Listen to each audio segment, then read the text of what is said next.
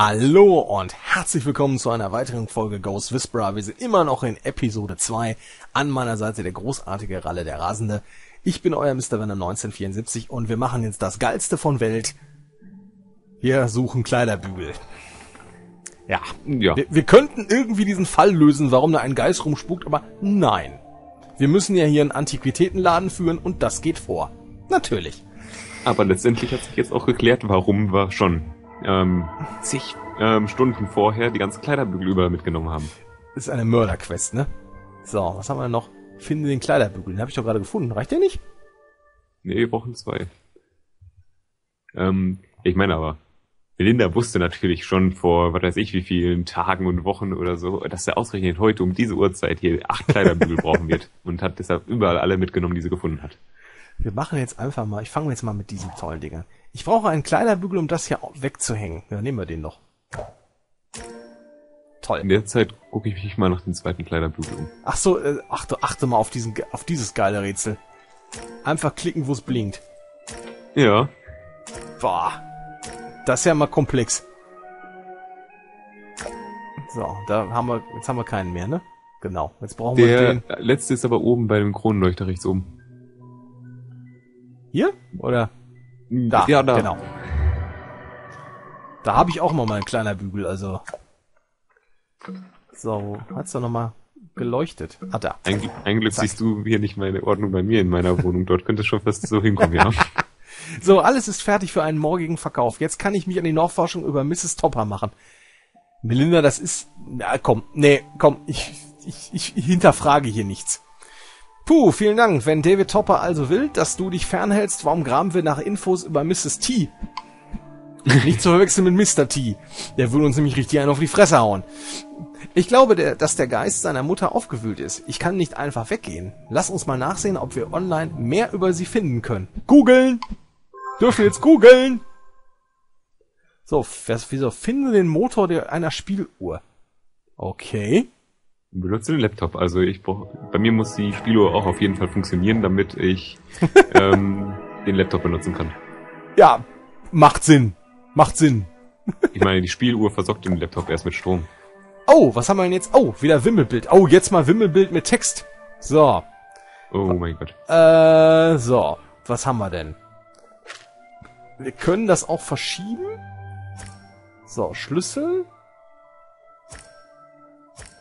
Also alles, was jetzt, das ist zum ersten Mal, wo ich beim letzten Mal gesagt habe, das ist jedenfalls relativ mal okay. Äh, so, was haben wir denn noch?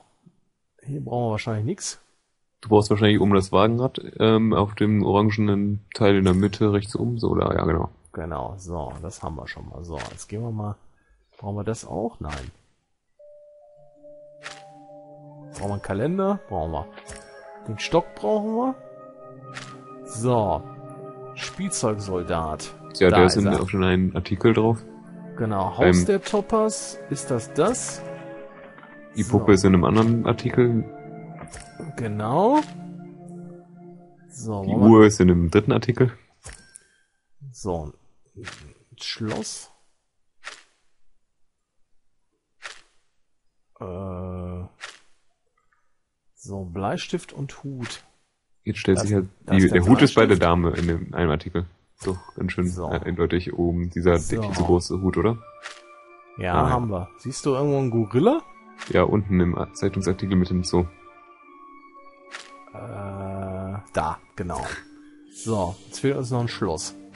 Jetzt stellt sich die Frage, was für ein Schloss ist es? Eine Art Schloss-Schloss oder ist es ein ähm, Schloss, wo man Schlüssel reinsteckt? Ich vermute eher die, die Schlüsselabteilung. Aber hier ist nichts mehr, ne? Ich guck gerade ziemlich. Ah, Ich guck auch mal. Nicht, dass das irgendwo im Text ist. Das würde ich dir mittlerweile auch zutrauen. Ach ja, ja, das ist natürlich auch eine Möglichkeit.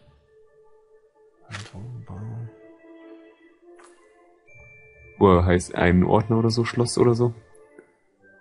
Ich klick's ja mal an.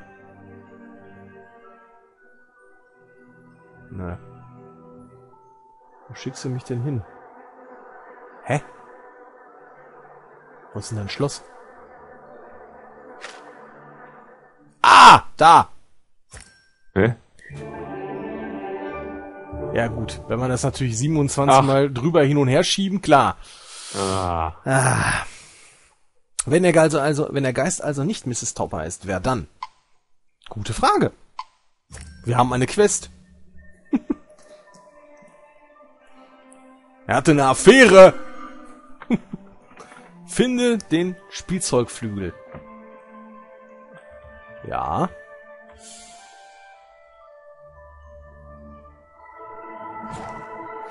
Nehmen wir den noch. Warum auch immer ich jetzt den Spielzeugflügel brauche. die weiß mal wieder mehr als ähm, wir. Und mit dem Spielzeugflügel geht's ab ins Schlafzimmer. Natürlich. Aber ich habe, glaube ich, tatsächlich gerade so einen Punkt gefunden, wo das Spiel halbwegs realistisch zur Serie ist. Also ich meine, die Melinda ist in der Serie auch immer so extrem neugierig und mischt sich überall ein, wo sie überhaupt nicht ähm, sich einmischen soll und so. Ja, ja, das, das ist richtig. Hat auch sozusagen nicht unbedingt, äh, unbedingt ein tolles Leben in der Stadt. Nee, nicht unbedingt. Was will er denn? Mein Lämmchen, kleines Lämmchen, Pfeilchen für mein kleines Lämmchen, Pfeilchen. Hast du getrunken? Ach, das ist der Opa, ne? Ähm, ja, Mein Lämmchen, kleines Lämmchen, Pfeilchen für mein kleines Lämmchen, Pfeilchen. Sehr geehrte Damen und Herren da draußen, passt auf mit Tabletten, sonst passiert euch das auch. Hä? Wie? Danke, dass Sie gekommen sind, Melinda. Es geht ihm immer schlechter und ich habe den Puppenkopf in seinem Bett gefunden. Nicht unbedingt gutes oben, wenn ich mal sagen darf. Wie die anderen Puppenteile, die ich gefunden habe. Vermute ich. Das alles hat mir eine Heidenangst angejagt, weshalb ich den Kopf fallen ließ. Er muss hier irgendwo sein. Quest. Wo ist er denn? Wenn er denn beim Bett fallen ließ, dann muss er doch eigentlich in der Nähe des Betts sein, oder denke ich hier falsch?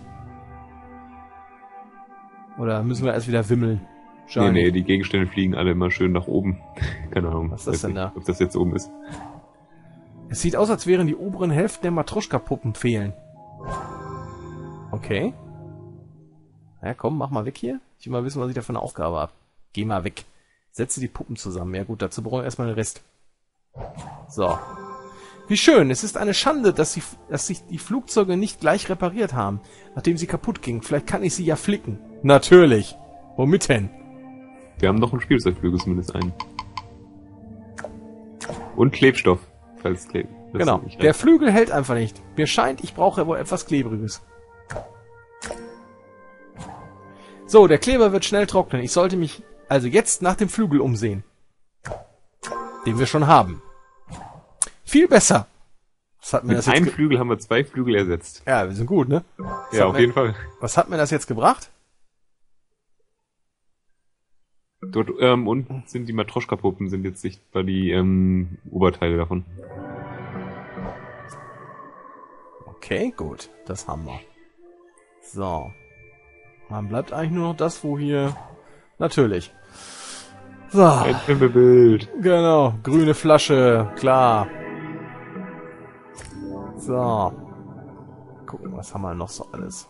Krawatte ist rechts. Genau, können sofort weg. Das ist die tolle Gabel, die kenne ich auch schon mehrfach. Äh, Spielkarte, brauchen wir sowas? Ja. Da ist wieder ein Tuch. Schweizer Messer ist hier. Brauchen wir denn eine Schaltplatte? Rechts ist auf jeden Fall ein Gesicht ähm, ziemlich in der Mitte und ähm, Genau, hier auch. ziemlich ne? zentral, ja genau, da ist auch noch ein Gesicht. Können wir schon mal ein paar Gesichter nochmal machen. So, Auf der Lampe ist auch noch ein Gesicht. Links oben Genau. auf der Lampe. Wo sehen wir denn hier ein Puppenteil? Ach, da war das Puppenteil. Okay. So, Puppenteil 2 dürfte das dann sein. Wo haben denn die Schallplatte hingepackt? Puppenteil 3 ist ein Stückchen links von deinem Cursor jetzt. Ein bisschen weiter links. Ja, da, okay, das war Puppenteil 4 anscheinend. Ähm, Siehst du noch eins? links und hoch. Links. Weiter links. Links. Ja. Noch weiter links. Noch ein bisschen. Da bist jetzt fast drauf. Gut. Baseball hatten wir doch gerade. Warum findet ihr den nicht? So, zack. So, Schallplatte. Die Schallplatte ist unten in der Mitte. Unterm Affen. Zack. Boah, super. Und vier neue Gegenstände mit wahrscheinlich vier Bügel. So, fünf Puppenteile. Wo soll ich die denn jetzt zusammensetzen? Haben wir hier was? Wahrscheinlich hier, okay. Passt perfekt. Die habe ich schon als Kind geliebt. Die kaputten Puppen. Okay, so. Fehlt uns immer noch ein Puppenkopf. Mhm. Der kann doch nicht so Mit, der Matroschka-Puppen, mit den Matroschka-Puppen können wir jetzt nichts weiter machen.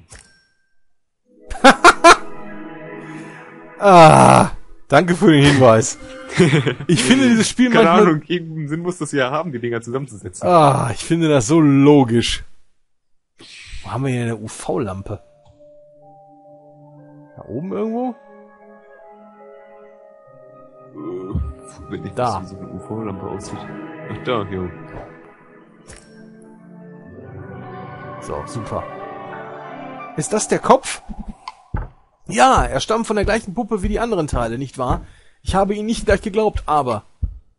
Haben Sie das gehört? Es kommt von oben. Ach, das ist das Trommeln. Ach so. Das waren Füße. Ich dachte, das wäre das Herz von ihr gewesen oder so. Das auf einmal höher geschlagen hat, weil es endlich angenommen wurde. Etwas läuft da oben rum. Aber es war seit Jahren niemand mehr auf dem Speicher. Es klingt zumindest, als würde das nicht ganz stimmen. So. Sieh dich auf dem Flur um. Ich bin mir ziemlich sicher, dass es sowieso nur ein Tier ist, was dort oben sein wird. Fest verschlossen, da scheint irgendein Schloss angebracht zu sein. Haben wir solche Teile? Das passt doch schon mal da und das passt doch schon mal da. Und den Kreis haben wir auch. Ha! Zup, das war schwer. Hier, die Luke zum Speicher ist jetzt offen. Ich, ich möchte wirklich nicht da hochgehen. Ja, das machen wir ja wahrscheinlich wieder, natürlich. Schon okay, wir gehen zusammen hoch. No. Was kann ich, muss ich denn, hier steht noch, sieh dich auf dem Flur um, dann mache ich das auch noch. Da blinkt was bei dem Sofa. Aha. Wimmelbild? ja, natürlich. Immerhin, das Spiel wird dem Begriff Wimmelbildspiel gerecht. Ja, Weil es, also schon wa- ein bisschen was der Vorteil ist, im Gegensatz zu Episode 1 haben sie diese Wimmelspiele noch mal 17 Mal recycelt. Also das heißt, du hast ein Wimmelbild dann 27 Mal gemacht. Das machen sie jetzt in Episode 2 nicht, aber dafür haben sie, vorher hatten sie kaum etwas und jetzt siehst du ja alle, alle drei Minuten wird jetzt gewimmelt. So, was haben wir noch? Wo ist denn hier eine Fledermaus? Der Anker ist bei dem ähm, Nachtschränkchen sozusagen, also diesem Schränkchen dort. Da, genau.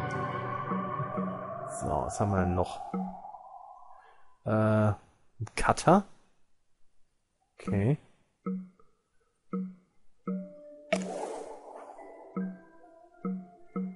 Na, das ist okay, das haben wir. Pff. Eine beige Schnecke ist auch gut. Der Dominostein ist ähm, links unten rechts vom Hahn. Äh, da. Nee. Oberhalb des ähm, oh, Handschuhs, diese, oh, wie heißt das? Boxhandschuhs, so genau. Da ist er. So. Jetzt haben wir noch ein Armband. Aha. Da ist nochmal ein Geist. Das ist die Motte wahrscheinlich? Nee, das war Batman. Okay, das war die Fledermaus. Das ist die Motte, okay. Äh. Armband? Hallo? Armband könnte das unter diesem ähm, Gefährt rechts unten sein, dieses Holzgefährt, da unten drunter. Direkt. Das ist die Schnecke. Na, okay. Egal, nehmen wir auch. Schnecke und Armband sehen unglaublich ähnlich aus. So, komm, dann verballern wir mal ein. Das ist der Schwamm. Okay, den hätten wir selber finden können. Äh, was haben wir denn für ein Becken? Ja, das frage ich mich auch schon. Was soll ein Becken sein? Sind das diese Musikinstrumentbecken, die so ähm, klatschen oder sowas? Kann sein, kann sein. Oh mein Gott, manchmal muss man echt. Da ist es auch. Ja, manchmal muss man so extrem um die Ecke denken. Ich habe erstmal an so ein Waschbecken gedacht, oder so, aber nicht daran. Und dann. Ja, gut. So. So, was fehlt uns denn noch? Eine Mundharmonika Mundharmonika.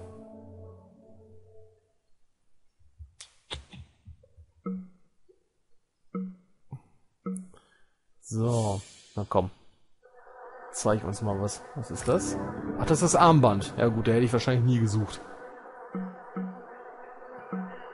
So. Was ist ein Cutter denn bei denen? Warte mal, was haben wir denn da noch? Die Mundharmonika ist links bei dem Schränkchen, also an der linken Tür, die offen ist. Unten. Hier? Bisschen weiter links da. Okay. So, jetzt kommt die Frage. Was ist ein Cutter bei euch?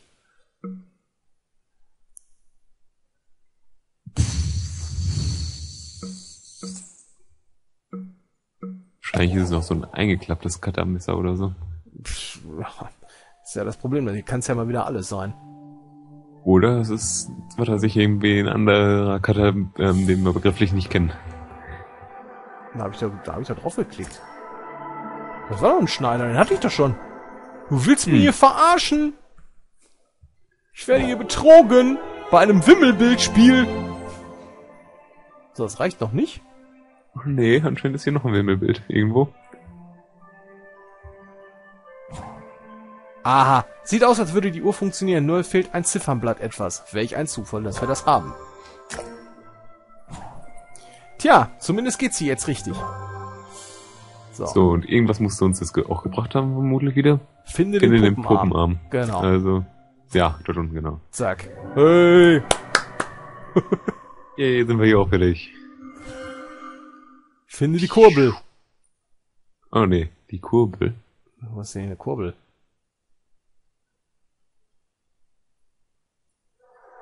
Immer faul. Da ist eine Kurbel? Ja, das ist die Kurbel. Ja, natürlich. So, jetzt geht sie wahrscheinlich automatisch hoch. Ha! Speicher. Sehen Sie sich nur all das Zeug an. Das Leben meines Vaters, aber ich sehe niemanden hier oben. Was aber nicht heißt, dass niemand hier ist. Äh, was willst du? Lüfte das Geheimnis des Speichers. Ach du Scheiße, was Aria Areal Nische? 2 oder so. Oh nee, nicht schon wieder. Ich Wimmelbild. Ich glaube, jetzt haben wir es alle zwei Minuten, glaube ich. Aber jetzt reicht's auch langsam. So. Was brauchen wir denn? Eine Blumenkette. Ähm, Ein Peak, okay. ein Zauberstab und ein Pfeil.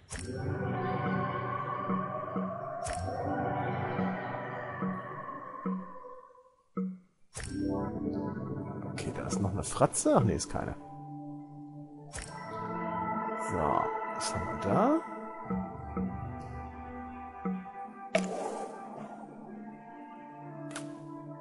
Tja, jetzt wird's aber, jetzt wird's aber hier die Augenkrebsabteilung. Ja, das könnte die Schlange das rechts, dieses ähm, schwarze Ding mit den Augen sein, oder? So? Ja, na gut, doch nicht, das ist doch nicht die Schlange. Hm. Warte mal, komm, wir machen mal schon mal einen weg. Okay, da ist irgendwas. Da ist der Fußabdruck, der natürlich irgendwo... Hantel haben wir auch irgendwas? Ist das da unten die Hantel vielleicht? Nee. So halb im Bild. Die Hantel ist in der Mitte oben so ziemlich. Bei den, Ja, ähm, bei ich der komischen sie. Maske. Ich sehe sie, Ja, hab's gut. gesehen. So, Gut. wo ist denn eine Socke? In diesem Chaos. Ich bin mir ziemlich sicher, dass sie die Socke auch mitnehmen wird. Da war das Peak drauf. Wie hätte ich das denn erkennen sollen? Ich habe keinen Schimmer. Ja, Jetzt werdet ihr aber hier. Das war der Haarreifen. Okay.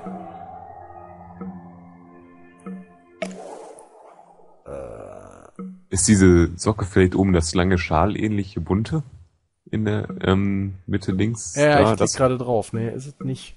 ah, okay. Das war der Bambusstock. So, su- wir suchen immer noch die scheiß Schlange. Und die Socke. Ah, die Socke ist rechts unten ähm, beim Pferdekopf. Vorne vor. Da. Ist jetzt halt mit der Maus drauf. Bisschen, also von Auge aus ein bisschen Ja, ja, da ist er. Okay. So, Okay. jetzt darfst du noch die Schlange finden. Ich be- gebe mein Bestes.